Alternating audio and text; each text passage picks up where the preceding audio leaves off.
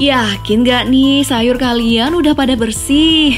Meski udah dicuci, tetap perhatikan lagi ya guys. Biasanya hewan yang satu ini hobi banget menyusup di sayur-sayuran dan tanpa disadari biasanya ikut termakan juga loh. Yup, kutu daun atau afid ini merupakan jenis serangga kecil pemakan getah tanaman. Kutu daun ini hidup secara berkelompok, ada yang berwarna hitam, coklat, atau hijau. Kutu-kutu daun ini sering kita temui di sayuran dengan bentuk beragam. Biasanya, kutu ini sangat suka sembunyi di sayuran terutama bayam, brokoli, kubis, dan sayuran lain lainnya. Jadi sebelum mengolahnya cuci sampai bersih dulu ya guys sayurannya.